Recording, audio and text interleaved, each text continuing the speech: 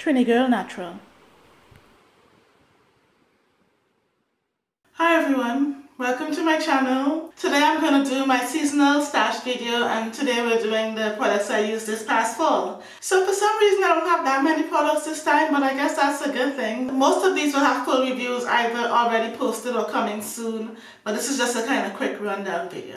So let's get started. so I'm starting with Alodia Hair Care. I did post a review on this one already. I tried out three of her products and I had a successful wash day with them, so yay for Alodia. The first one I tried was her deep conditioner, which is right here. so, as I mentioned, it was a bit of a sitter, but after deep conditioning, you know, after letting it sit for 30 minutes, my hair felt soft and moisturized. So it definitely did the job. And I love the minty kind of stimulation that you get from the products. If you like a nice minty kind of deep conditioner and you don't have ultra low porosity or you are going to let it sit, I don't think you can go wrong with this. And if you want to see more information, just check out the full review. But yeah, overall, this was a go. I, I like this product. This is the texture of it. It's pretty light. And it does take a little while to go in, especially on like my low porosity. But it does, as you see, work in there. And it does really soften and moisturize my hair. I love this, the scent. It smells almost like kids toothpaste, so it's like minty but a little bit different too. Like a bubblegum kind of minty. And it did a good job in terms of like stimulating my scalp with all that tingle. So that was good. so since there are not that many products, I can give you a quick peek at the ingredients, but um, I won't discuss them in detail, but you can see that she does a lot of essential oils and stuff in her products. So the next thing I tried from her was her hair cream. And this I really enjoyed. It did give me great moisture and definition. The slip wasn't, wasn't the best, but it was definitely good enough to get through my hair, no complaints. And my hair was super moisturized and defined.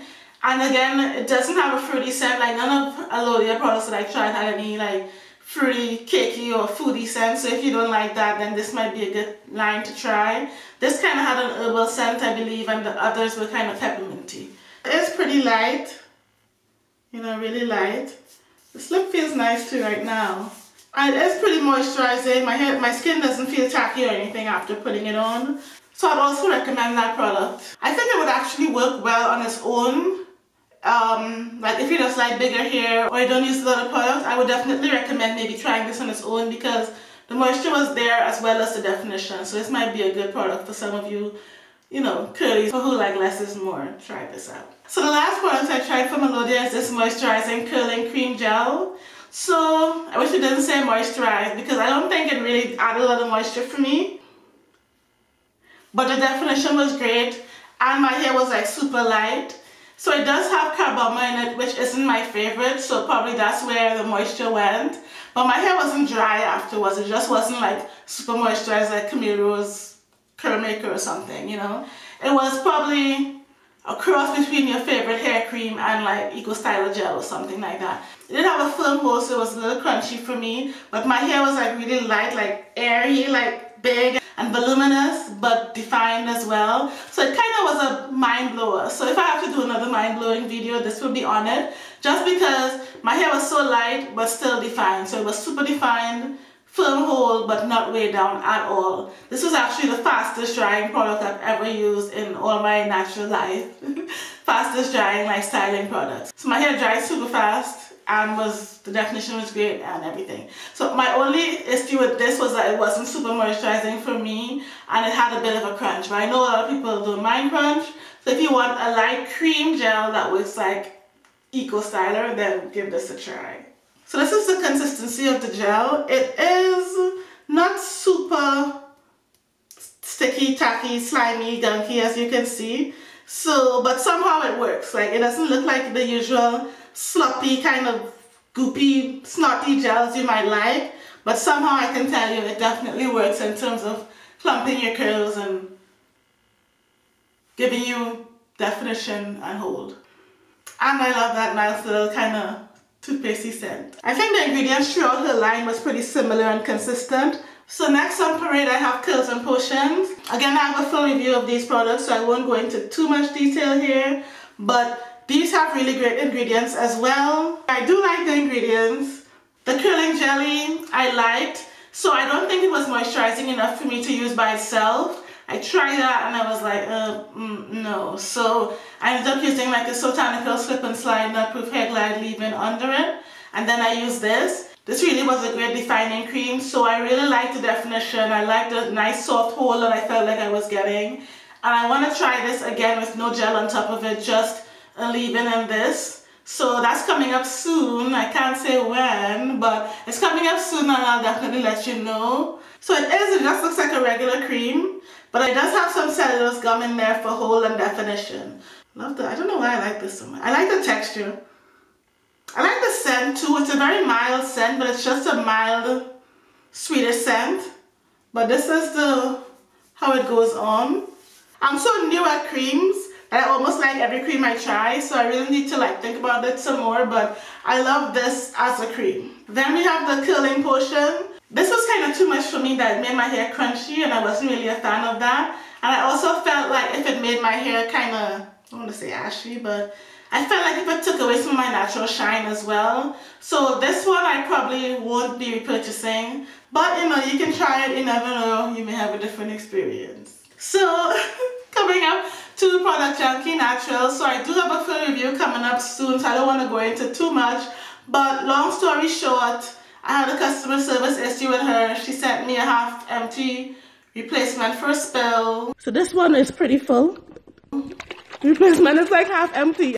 But I'm always impassioned when it comes to products. I don't blame products for their owners or products for the customer service. Like it's two separate things. I was still excited to try these and definitely had an open mind. I was definitely hopeful for trying these. I got the Rosemary Matcha Green Tea Deep Conditioner and the Hibiscus and Fenugreek Leave-In Conditioner. So I don't care that much about labels running and stuff, although it is a little annoying, but if you're that person that doesn't like that, then be warned, the labels kind of run. So I did like the ingredients. I love hibiscus, marshmallow root I love, agave nectar I love. I don't use a lot of things for shea butter. So I'm wondering if that's something I maybe need to avoid or something because these products didn't work for me at all. So I put in the deep conditioner like I usually do. I was like, nothing's happening like I've been doing a lot. I was like, okay, let me let it sit. Um, I let it sit and still nothing happened. It just never penetrated my hair, never moisturized my hair. My hair did feel soft, probably because of the amount of shea butter, but it never felt moisturized and it was super frizzy. So this is the deep conditioner. You can see I use most of it trying to make something happen, but nothing happened. So one thing I do like about her products is the scent. Just has a really earthy, musky kind of scent. I don't know what to tell you about it besides that, but I like the scent of both of these. So this is the texture of the deep conditioner. So it does seem light, but for some reason it just wasn't trying to go in. I'm trying to find a patch because I don't want you to say that I had stuff in there before but you can see that this is kind of this ain't going nowhere. I didn't put it where I had anything before because I wanted to show you that this is not going nowhere. So it does finally kind of go in but I can still feel a film on my skin.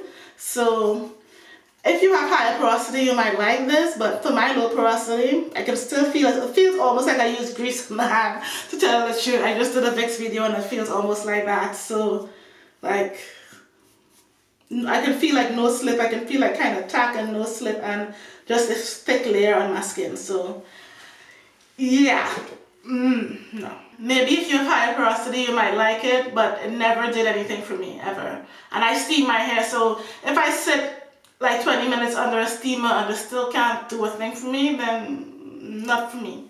No, no, no.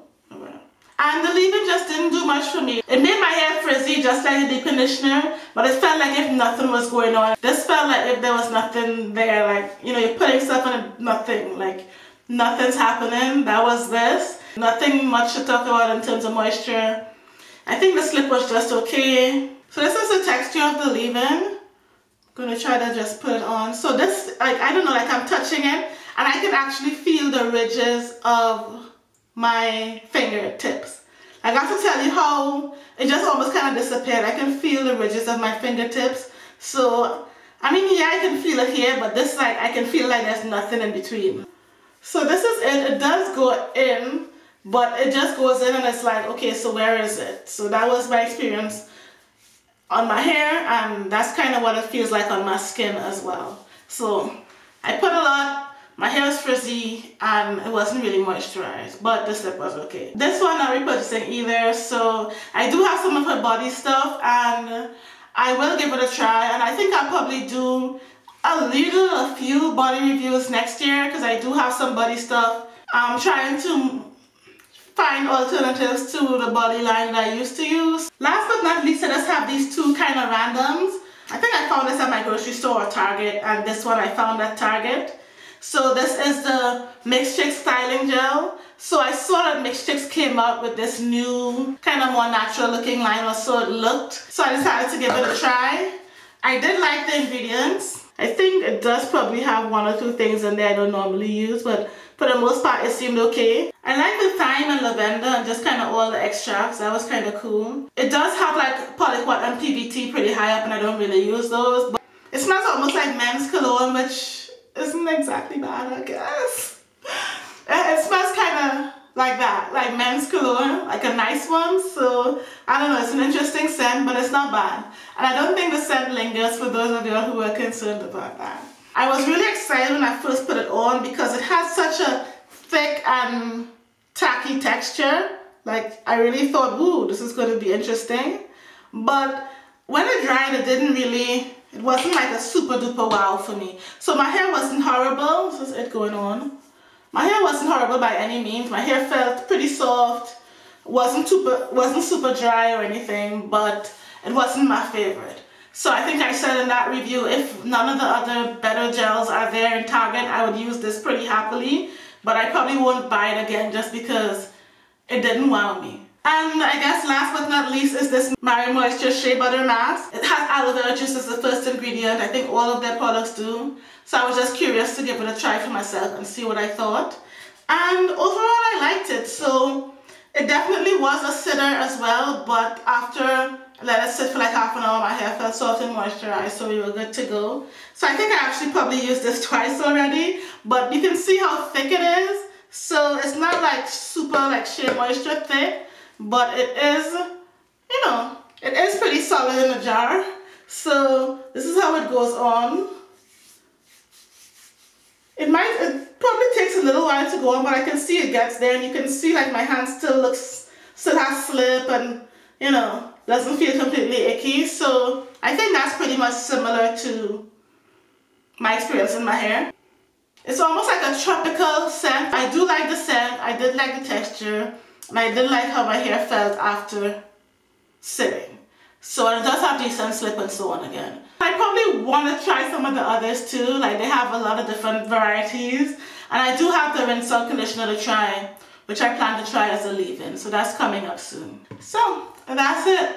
That's what I've been doing this fall. Overall, I didn't find any HGs, but I didn't hate much except the Product Junkie Naturals. I did find one kind of wow, which was the Alodia Cream Gel. Wow for the being like Eco Styler but super light. I am also going to post my winter stuff from last year now that I'm finally a year old as a blogger just to give you a sense of before the season what I like instead of after. So every time I post these I want to post two, the current one and then a flashback from the year before for the upcoming season.